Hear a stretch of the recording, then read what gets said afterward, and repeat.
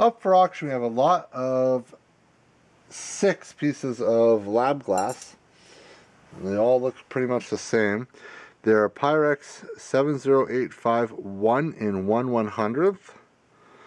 And it looks like 9, 10 milliliters. Oh, what's this one?